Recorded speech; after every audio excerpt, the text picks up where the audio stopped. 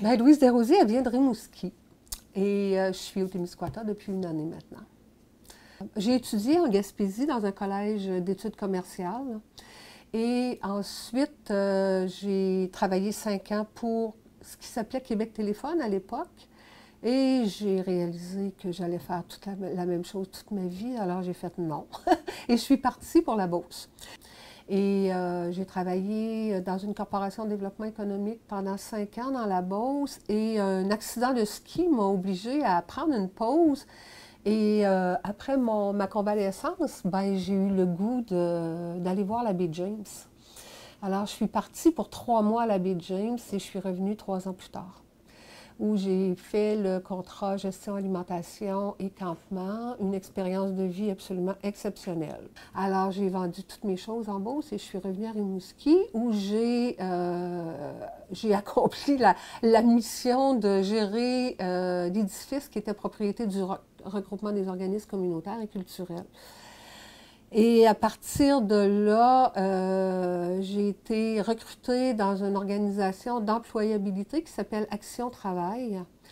Et euh, j'ai vu des problématiques d'employabilité chez les jeunes et ma passion pour l'entrepreneuriat m'est revenue en me disant il faudrait voir une alternative à l'emploi par le démarrage d'entreprise.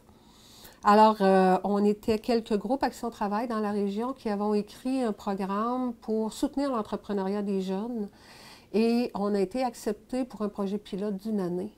Ça a fait que l'entrepreneuriat jeunesse m'a amené à l'entrepreneuriat au féminin aussi, où j'ai été recrutée par tous les cégeps du euh, Bas-Saint-Laurent pour animer des ateliers pour supporter l'entrepreneuriat chez les femmes.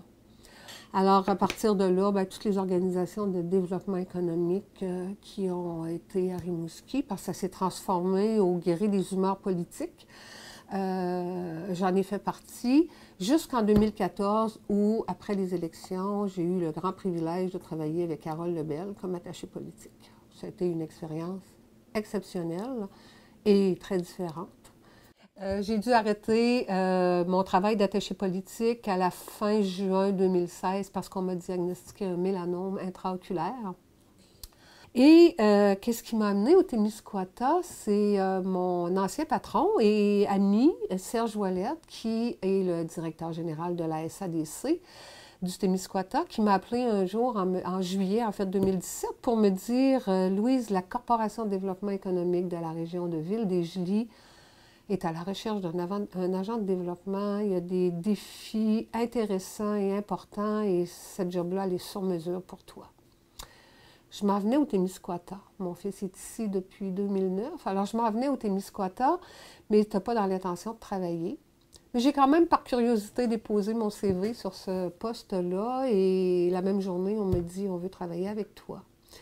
Et euh, il y avait des enjeux intéressants, euh, dont la rénovation d'un bâtiment industriel qui avait été à l'abandon. Chaque fois que je me stationnais devant, je me disais, il faut que je refasse une beauté. Il faut remettre en service euh, ce bâtiment-là. Il est en chantier maintenant et à partir du mois d'octobre, il reprend ses services. Après le gros chantier du 1208, je vais voir la possibilité d'agrandir ou de construire d'autres modèles industriels à Desjolies. Il y a des besoins. Euh, l'autre préoccupation importante que j'ai, c'est celle de la relève des entreprises. Il y a beaucoup, beaucoup d'enjeux. Euh, le Témiscouata, euh, j'apprends maintenant à le connaître. Euh, j'accompagne aussi les municipalités de Packington et de Saint-Jean-de-la-Lande dans des projets qu'ils ont. J'ai senti parfois de l'incrédulité ou du pessimisme et c'est un peu là-dessus que j'ai le goût de travailler, de démontrer que oui, on peut. Oui, on peut. Et on peut, mais avec les ressources qu'on a. J'aimerais beaucoup euh, que des terres qui sont en friche actuellement reprennent du service. Et euh, il, faut, il faut absolument trouver des solutions à la problématique de la main-d'œuvre.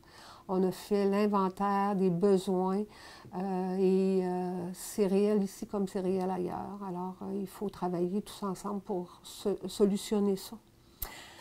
Alors ça, c'est des choses qui m'intéressent beaucoup euh, d'explorer pour voir si on est capable euh, au Témiscouata de faire ça. Alors voilà, ça ressemble à ça.